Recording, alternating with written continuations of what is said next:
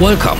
Is Caesar having a comeback? As Ronnie mentioned in one of his last videos, Alex paired with Caesar seems to have utility versus Attila Takeda. Let's do the test.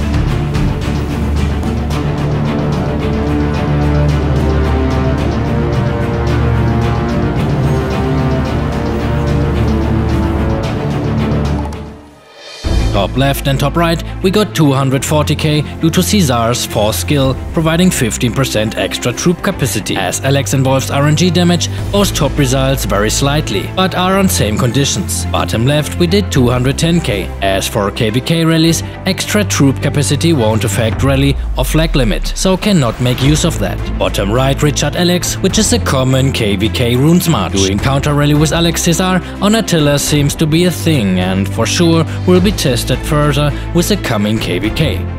Alright, thanks for watching and if you liked this video please leave a like and subscribe.